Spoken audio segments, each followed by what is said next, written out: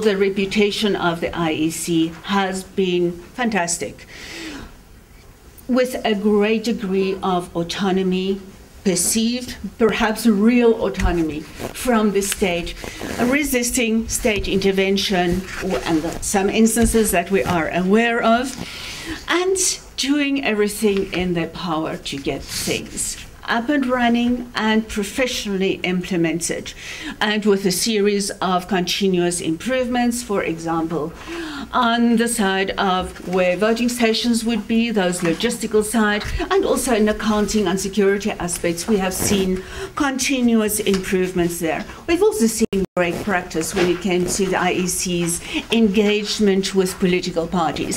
That is, a party liaison committees, and they work bringing parties together involving parties in conflict resolution mechanisms have really set some benchmarks for electoral practice in other settings. I am tempted uh, to say something about Section 24A, Susan, though I, it was not in our notes.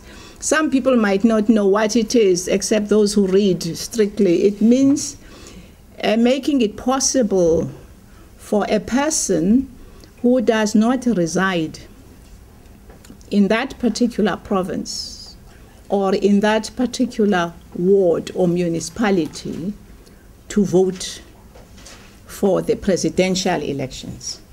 And why we got into trouble this time, Susan, is that the parties suddenly discovered this and they were bussing people around uh, because they were more interested in the presidential elections that you get. The, and so they started to move people around.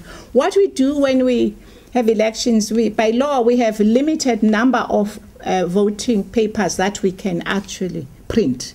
You don't just print any number you want because they have to be controlled. We're allowed a certain percentage in case of a crisis, which we had because we had a feeling that we were likely to lose uh, the case in the Constitutional Court on overseas. It was clear that we stood no chance on the overseas voting. So we did put the increase on that even before we went to court because we had to make the decisions of the ballot papers. But what happened was that in some voting stations, we don't have experienced staff, which is one of the areas I'm talking about now, as Susan has, which is a challenge for the future.